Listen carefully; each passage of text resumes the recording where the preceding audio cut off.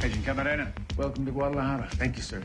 E.T. sat down with Michael Pena and Diego Luna to talk about the upcoming season of Netflix hit drama Narcos. So I don't think this is the fourth season.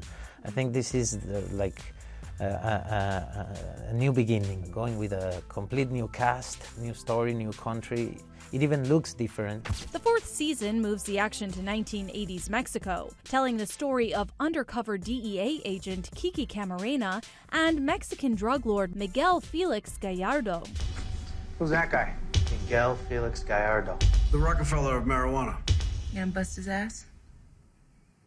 Mm-hmm. So you are playing a real person. Kiki died in 1985, but did you feel pressure to really get him right? Of course, yeah, because I spoke to his wife, Mika Camarena. What was that like? You know, she she gave me the impression that she was a very strong woman, and that she supported him all the way. And she's the one who told me that he was the kind of guy that just, you know, had to do something about it, and if not, he would just stay up. It would keep him up at night.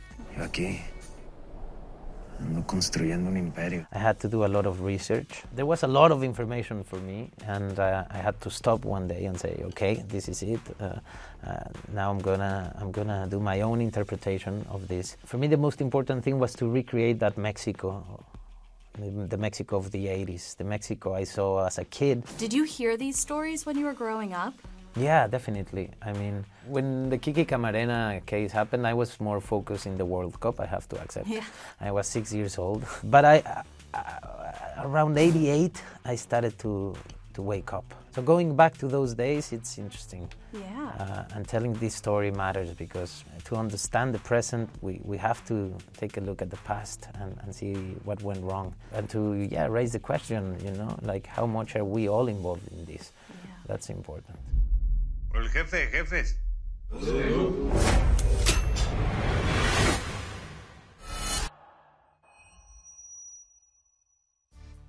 Your character is a dad. Yeah. You're a dad. How did being a dad in real life kind of shape the way you approach this role?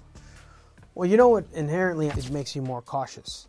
Uh, you know, like I even the way that I drive now is a little more cautious. Like if he's in the, in the car, like I'm definitely more cautious. When I'm not, I'm like, I'll kick it up to 35. Yeah. I'm not afraid.